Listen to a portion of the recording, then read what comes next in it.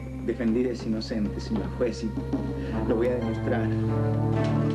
Echando por tierra una a una todas las pruebas que constan en autos contra ella. Primera prueba, el pañuelo. Señor Contreras, ya que solamente debo hacerle preguntas, porque no puedo hacer deducciones lógicas, contésteme esta. Usted tenía fácil acceso al lugar donde Cassandra guardaba sus ropas. Sí. Fue usted quien descubrió el pañuelo en el lugar de los hechos. Es así. Fue usted quien le dio ese pañuelo a los investigadores y le dijo que ese pañuelo era de Cassandra. Sí. Señor juez, yo le pregunto a usted, le, le pregunto a los magistrados. Hay, hay que ser muy tonto para pensar que una persona que acude a un lugar a cometer un crimen va a dejar allí precisamente un objeto que lo va a comprometer tan directamente. Un pañuelo gitano. Por Dios. Eso es una evidencia demasiado evidente. Como prueba, ese pañuelo es una cosa ridícula. Porque cualquiera pudo haberlo puesto allí con el afán expreso de comprometer a mi defendida. Usted, por ejemplo, señor Luis David Contreras. Usted tenía fácil acceso al ropero de Cassandra. Usted pudo tomar ese pañuelo, llevarlo consigo, dejarlo en el lugar de los hechos, con tan mala fe para inculpar expresamente a Cassandra. Y desde ese momento usted estaba fabricando un culpable. ¿Para qué? Para exonerarse. Entonces, usted cometió ese delito con premeditación. Y en su crueldad,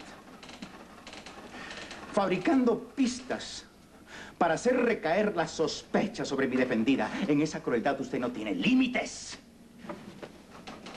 Usted, usted ha obrado fríamente, usted ha mentido, usted ha engañado. Ah. Déjeme pasar, que soy médico, por favor. Es mi hermano. Déjeme pasar, déjenlo pasar. Doctor. Manrique, Manrique. Soy yo, Manrique. Roberto, ayúdame, por favor, tengo que llegar hasta el final. Ayúdame. Ponga la silla ahí, por favor. Una silla, rápido, una silla. Cuidado, cuidado. Doctor. Cuidado. Ay, cuidado. Espérate, espérate, espérate. Ay, Dios ¿Y Luis David no ha regresado? No, todavía no. Yo no sé por qué demora tanto eso. Ah, bueno, cuando yo me fui de aquí, fui a las tiendas para dar tiempo.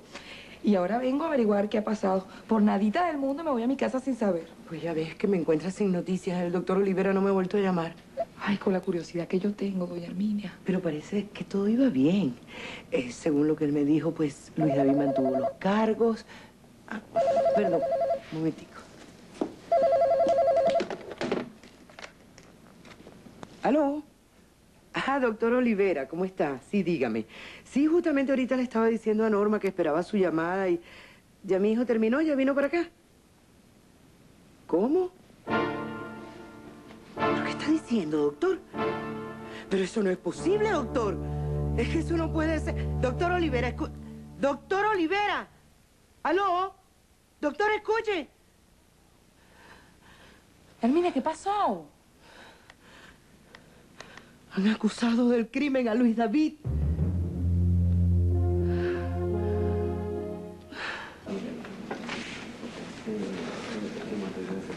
Tómate la mano. Pero tú no puedes seguir, Manrique, es que es demasiado. Tú has hecho un esfuerzo sobrehumano para poder pararte, para, para levantarte. Yo no me di cuenta cuando me paré. O sea, fue instintivo. Cuando vine a ver ya estaba caminando. ¿Tú sabes lo que significa eso, Manrique? Que puedes pararte, que estás curado. Pero mira, no, no puedes hacer todo el mismo día. Tienes que ir poco a poco. Ahora tienes que descansar, tienes que relajarte, tienes que estar tranquilo. Estás loco. Yo tengo que continuar. No, por favor, déjalo para mañana. No, no puedo, porque él entonces tendría tiempo de prepararse. Sus abogados lo asesorarían. Eso no puede ser. Tiene que ser ahora. Pero, Manrique, por Escúchame, favor. Roberto.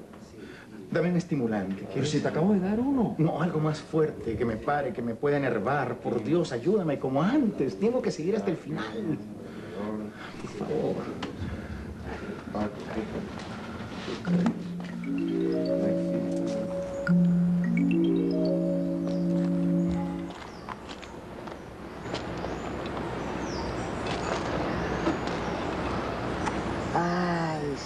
Que sientes, Chaborina.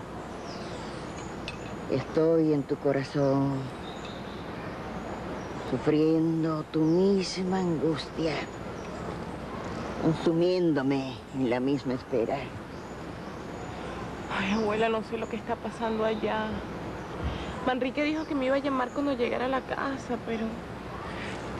¿Tú crees que sea posible que todavía esté allá en el tribunal? Mm, es posible. Las cosas de las leyes son tan enredadas y los hombres las enredan más aún. ¿Por qué tanto teatro? Señor juez, pido la palabra. El abogado de la acusación estima que el señor fiscal del Ministerio Público ciñase al interrogatorio la testigo. No es procedente el interrogatorio. Señor juez, arriba, señor juez, abajo. Maldita sea. Ay, abuela, por favor.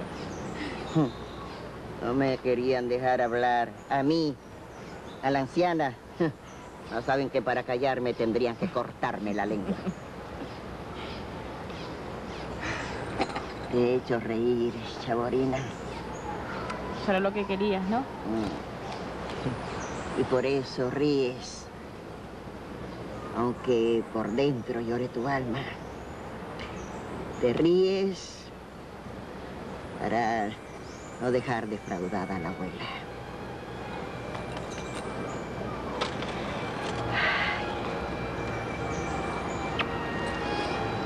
Eres buena. Que Dios te bendiga y te libre de la desdicha.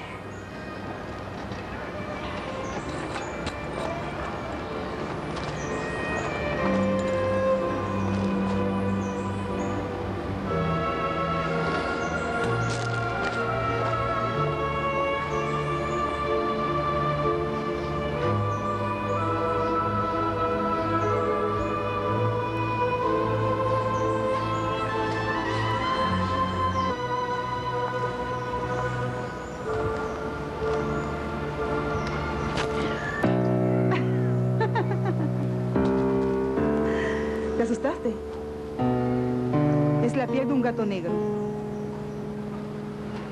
Tú no crees en eso, ¿verdad? Es mi regalo. Podrías hacerte con ella una linda bolsa y llevarla de recuerdo a tu celda para que eches en ella los días perdidos de tu vida.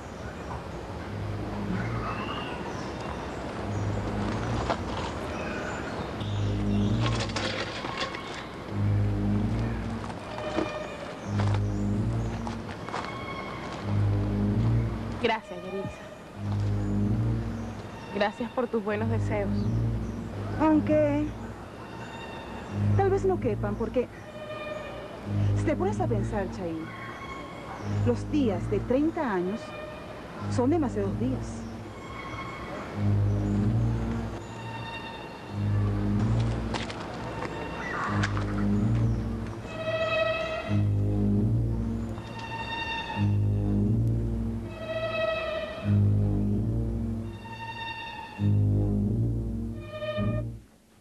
Por deseo expreso del abogado defensor se reanuda la vista de la causa. Los señores abogados pueden tomar sus respectivos asientos, por favor.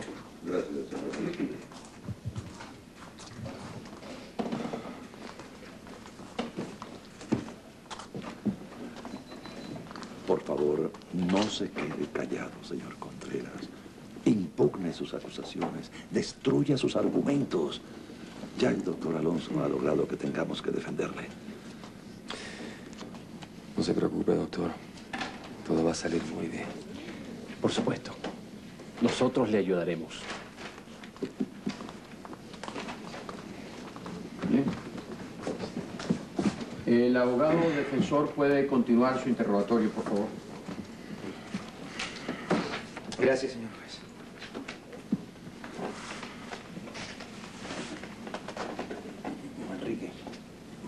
Favor, usa tu silla de No, no, ruedas. no, no, voy a estar de pie. Me sentiré más seguro de mí mismo. Es que no podrás. Sí podré, claro.